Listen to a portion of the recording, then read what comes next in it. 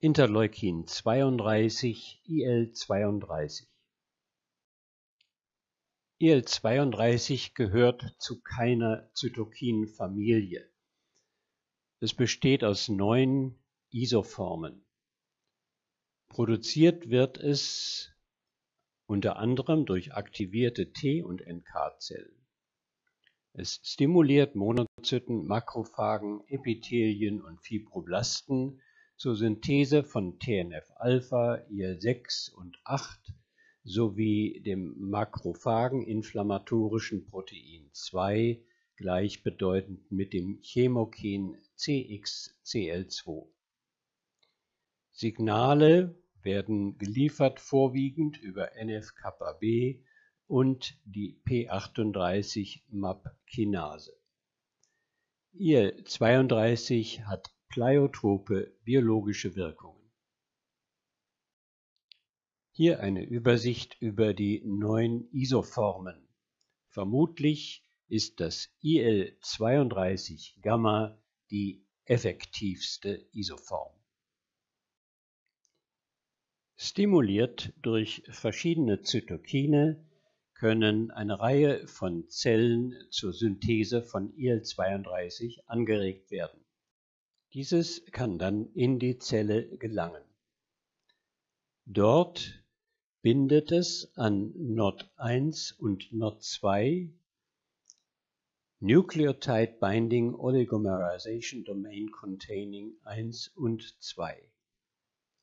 Die Wirkung von NOD2 wird durch Moramyldipeptid verstärkt. Über einen Caspase-1-abhängigen Mechanismus kann dann die Gentranskription initiiert werden. Parallel dazu wird über das rezeptorinteragierende Protein 2, RIP2, der NF-κB-Signalwerk aktiviert. IL-32 kann vermutlich auch mit zellulären Rezeptoren reagieren, wobei diese Rezeptoren bis heute aber nicht charakterisiert sind. So kann auch auf diesem Wege der NF-κB-Signalwerk ebenso stimuliert werden wie der P38-MAP-Kinaseweg. Auch intrazelluläres IL-32 mag an der Stimulation dieser Signale beteiligt sein.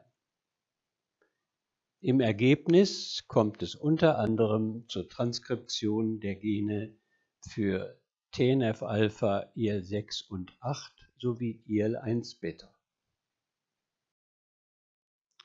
IL-32 fördert inflammatorische Antworten, Apoptose und Zelldifferenzierung. Es spielt möglicherweise eine pathogenetische Rolle bei verschiedenen entzündlichen Erkrankungen, allergischen und Lungenerkrankungen, der Neuromyelitis optica, Osteoporose, kardiovaskulären Erkrankungen, Hidradenitis suppurativa und verschiedenen Malignomen. Hier illustriert ist die mögliche Rolle von IL-32 beim Asthma. IL-32 kann IL-10-Synthese fördern und damit Entzündungszellen hemmen.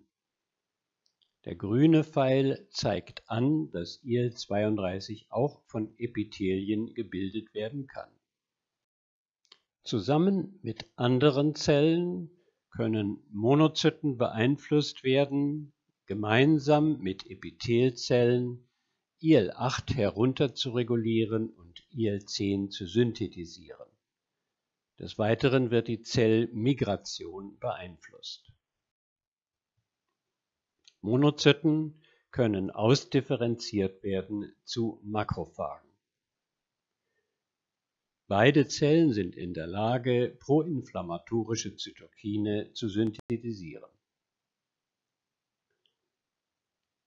IL-32 fördert die Infiltration von neutrophilen Granulozyten. Andere Zellen werden beeinflusst zur Differenzierung von dendritischen Zellen und zur Synthese verschiedener Zytokine.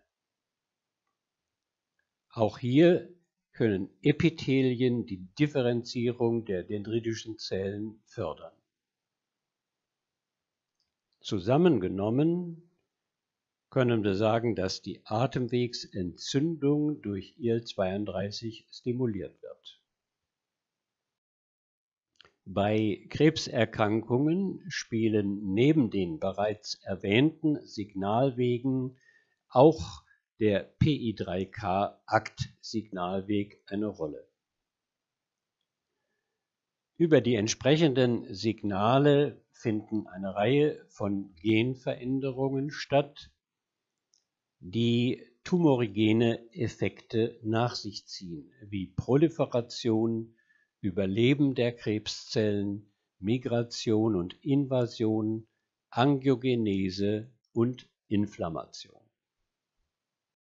Fazit IL-32 besteht aus neun Isoformen und hat pleiotrope biologische Wirkungen.